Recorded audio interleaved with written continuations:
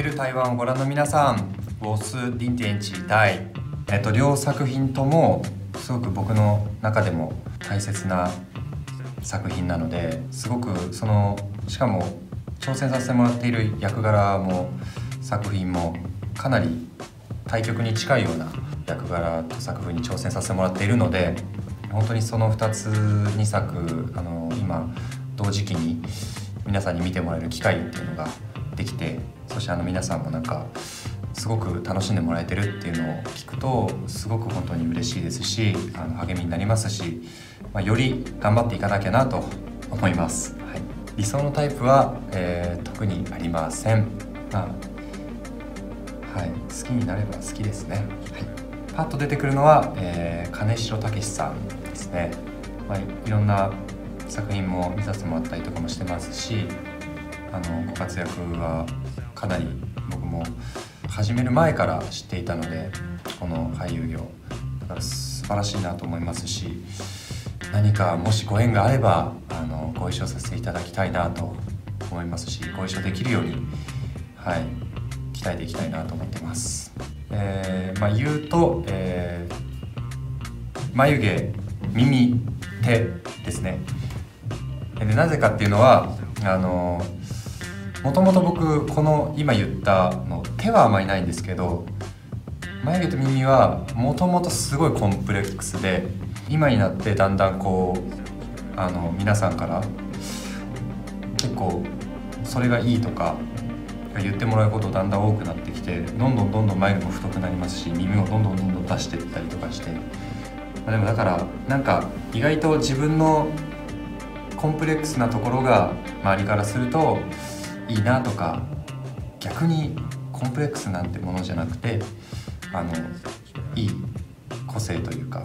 多分魅力に感じてもらえることってあるんだなと思うのですごく最近はそれにあの皆さんに気づかせてもらってます。うんもう欲を言ってしまうとたくさん出てくるんですけど、まあ、せっかくなので、まあ、僕がやっていたこととちょっとこうを使えるそれを活かせる役もいいなと思いまして最近。あとは、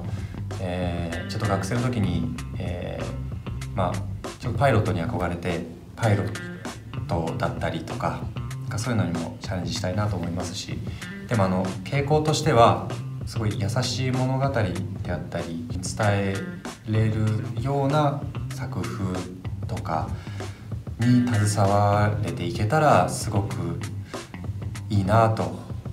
思ってます。2020年たくさん挑戦させてもらいましたしまた今まで